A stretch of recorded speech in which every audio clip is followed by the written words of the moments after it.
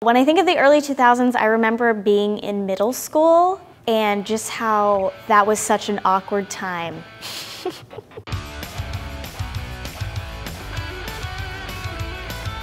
I was in middle school and I was very angsty in discovering who I was as a person. I think of like all the horrible tracksuit bottoms. Think of my favorite music, early Destiny's Child, J-Lo, Ashanti, Ja Rule, my favorite era of music to this day. So there was a lot of like questionable fashion choices. The celebrity that I looked up to in the early 2000s was Avril Lavigne because she was this super fierce and edgy girl. The first CD that I ever had in my life was a J-Lo CD and I was obsessed with it and I was obsessed with her. What I was wearing in the early 2000s, I wouldn't necessarily call fashion, but I think I saw people like Gwen Stefani and was like, oh my God, she's so cool.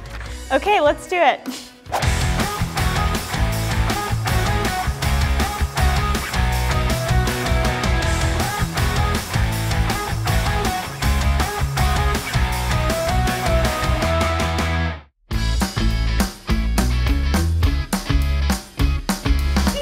When I was putting on these clothes, I was laughing. These are some crazy bold choices.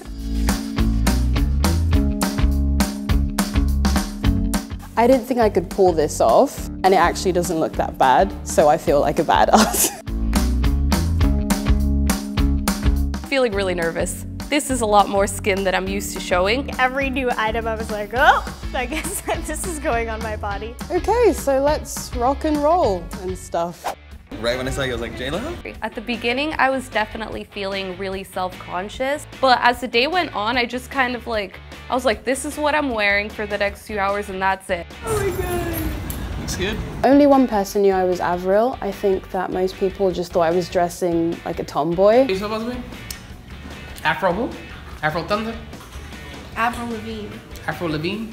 Yeah. I don't know what that is. I know Afro Man. So they were like, oh, this is a cool new look. Well, I'm about to walk into my meeting dressed like this. I like your outfit. Hi. Hi. What's up, Ari? Changing up your look, huh? People were shocked and disappointed in me. Yeah, but I, I enjoyed that. All right, I think you look beautiful in whatever you want to do. Um, I have opinions and concerns. About to walk into the other office right now and I'm a little nervous about what my team is going to think. I feel like I should behave more when I'm with you. I'm just sipping on chamomile. You look like a chola from my neighborhood. Oh, thank Yeah, you. ¿qué onda, niña? What's up? I see that tie and I see those exposed boxers. It actually made me realize that I would like to dress a little masculine. What the hell am I looking at? I think obviously this is not appropriate workplace attire. It's just weird to see that you're wearing a bikini top over your outfit.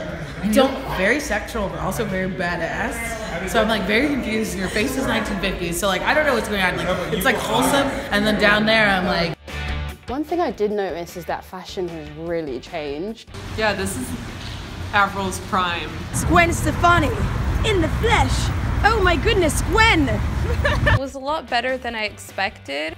People didn't seem to have the reactions I thought they would. Stop. I love that. J-Lo! I don't have to be completely dressed the way I normally would to still feel like myself and to still be confident. I feel like a lot of the trends in the early 2000s are not necessarily something we'd be wanting to wear today, but it's so fun. I might feel like J-Lo tomorrow when I'm wearing my own clothes and it's something that makes me more comfortable. This is what made her comfortable and made her feel sexy. If I find the perfect outfit for me, then I can feel more like J-Lo. Every time I need to wash my hands, I have to take this off. Slightly inconvenient.